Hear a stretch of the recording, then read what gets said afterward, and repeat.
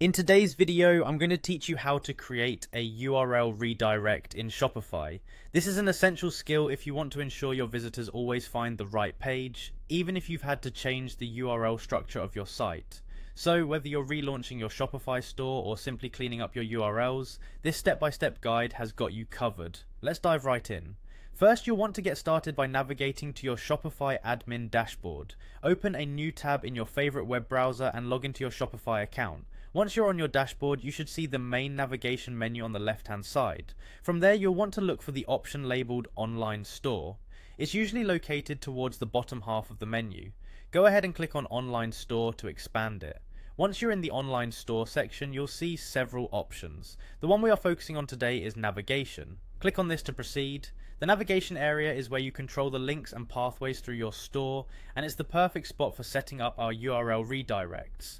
Now that you're in the navigation section, you should see a tab or link for URL redirects.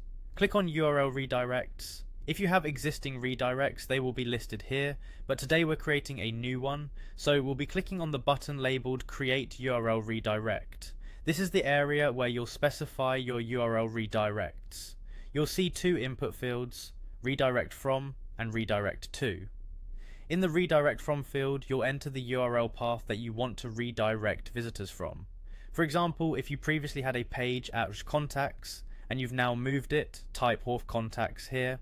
Next, in the redirect to field, you're going to specify where the new page resides. Use this field to enter the updated path. So, if your contact page has changed to pages of contact, you would type pages contact here.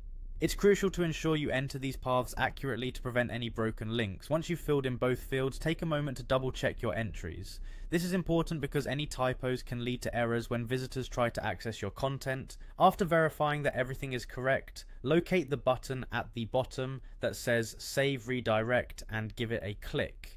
And there you have it. You've successfully created a URL redirect in Shopify. This simple yet powerful feature helps maintain the flow of traffic and keeps your visitors' experience smooth even when your site's URLs change. If you have more pages that need redirects, you can repeat this process as needed. Thanks for watching, and don't forget to like and subscribe for more helpful Shopify tips and tricks.